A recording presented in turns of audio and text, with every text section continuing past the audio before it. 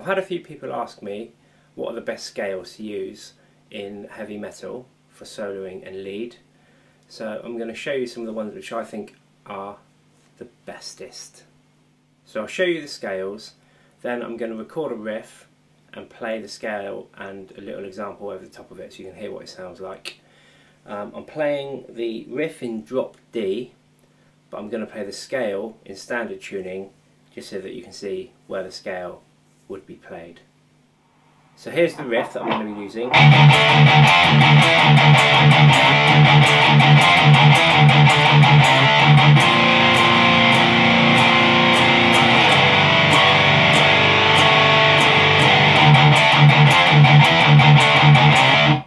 Okay, so it's in the key of D minor because this is in drop D.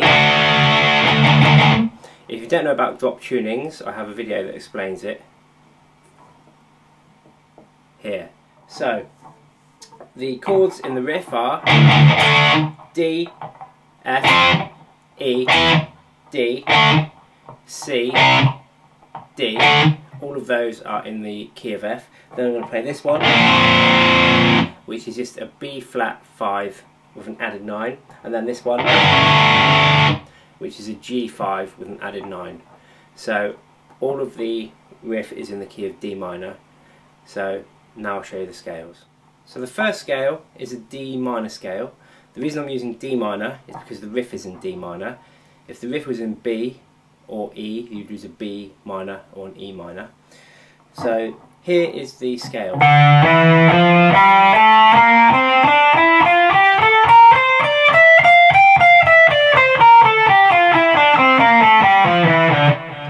Now I know technically you're supposed to finish the note that is the uh, relative to the scale, but I'm playing three note per string scales here. So we've got 10, 12, 13, 10, 12, 13, 10, 12, 14, 10, 12, 14, 11, 13, 15, 12, 13, 15. So again, that's 10, 12, 13, 10, 12, 13, 10, 12, 14, 10, 12, 14, 11, 13, 15, 12, 13, 15. And here's an example of how that would work over the top of that riff.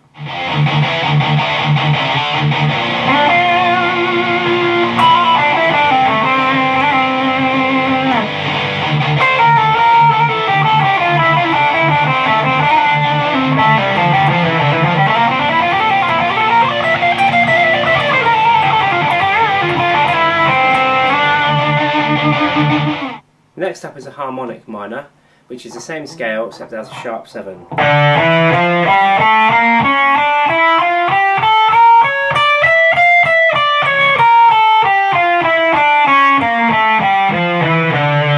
So that's 10, 12, 13, 10, 12, 13, 11, 12,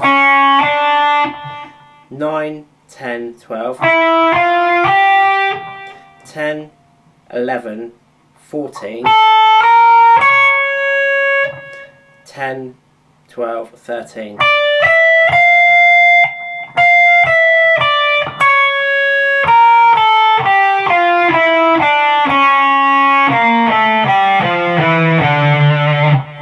Okay, so now we'll have a look at how that works.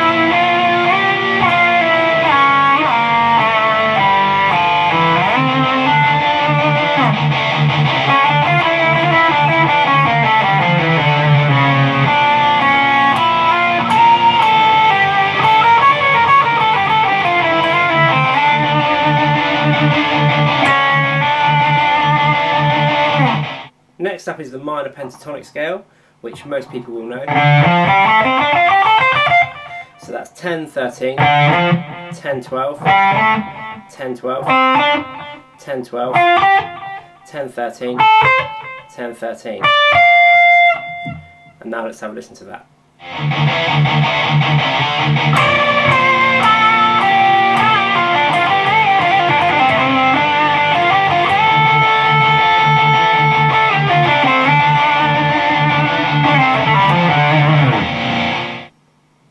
Next up is a blues scale, which is the same as a minor pentatonic, but it has a diminished fifth in it as well.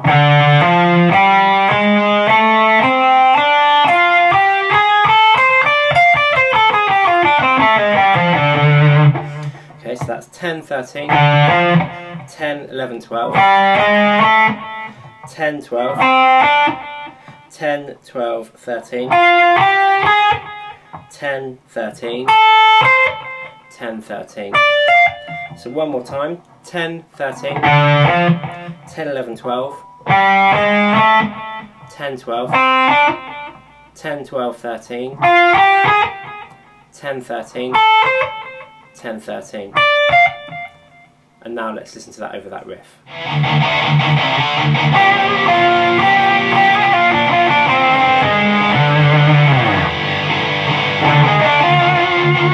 So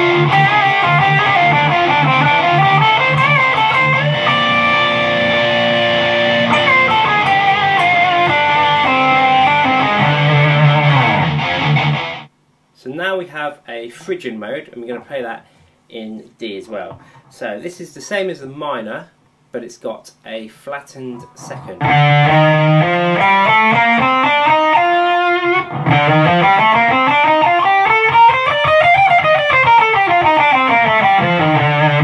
Okay, so that's going to go 10, 11, 13, 10, 12, 13, 10, 12, 13, 10, 12, 14, 11, 13, 15, 11, 13, 15.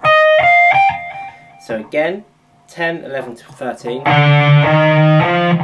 10, 12, 13, 10, 12, 13, 10, 12, 14, 11, 13, 15, 11, 13, 15. And now we listen to that scale.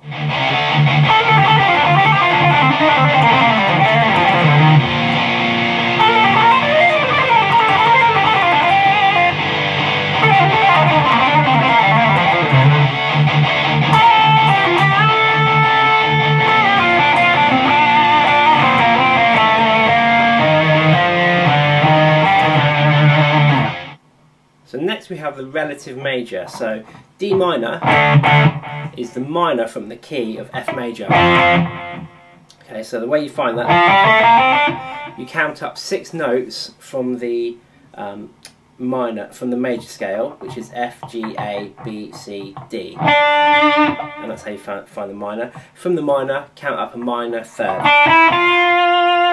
And that will give you the relative major. So the scale, um, we can play it in various different places, but we're going to play it here.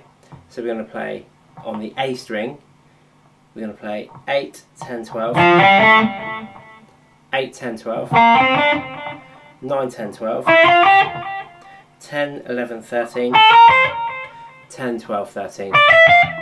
We can also play it here, but if you play a 3 note per string scale, you play 13, 15, 17, sorry, and again 13, 15, 17, 14, 15, 17, 14, 15, 17, 15, 17, 18, 15, 17, 18. Okay, so if you wanted to come down from here, so you can also play 12, 10, 8 on the bottom E string. But then we're into C Mixolydian territory, which is a different mode. But if you wanted to finish it down on the bottom string, then that's where you would go 8, 10, 12. So let's have a listen to that one over that riff.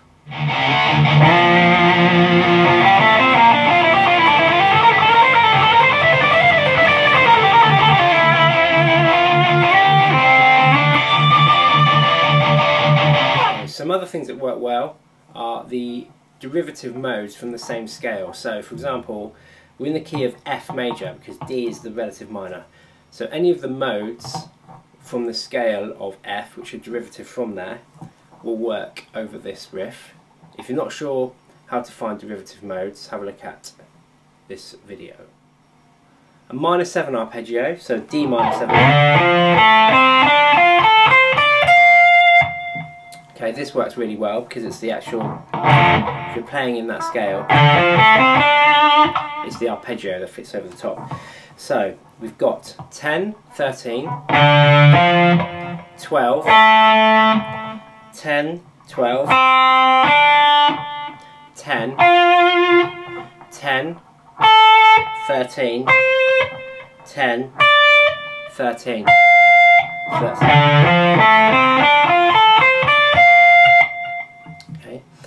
let's have a look at that one over that riff.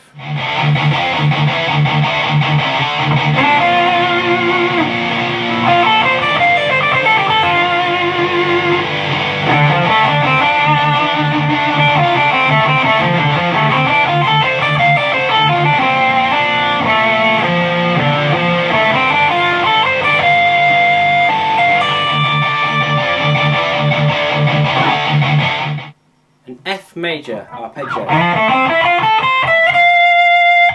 Okay, so this works really well because it's the major arpeggio that's in the same key. So again, there's various different ways of playing this.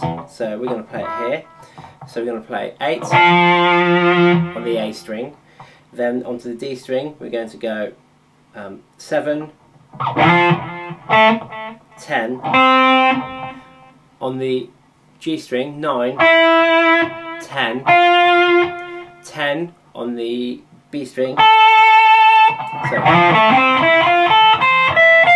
then we're going to come up to, um, you can either play the 8 on the E string, then 10, uh, 12 and 13.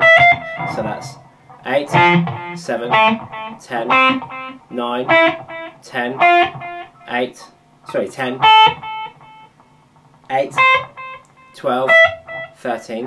That's one way of playing it. We've got 8, 7, 10, 9, 10, 10, 13, 12, 13. Or you've got 8, 12, 10, 9, 10, 10, 13, 12, 13. Okay, so there are various different ways of playing this, um, but let's have a listen to it now and see how it sounds.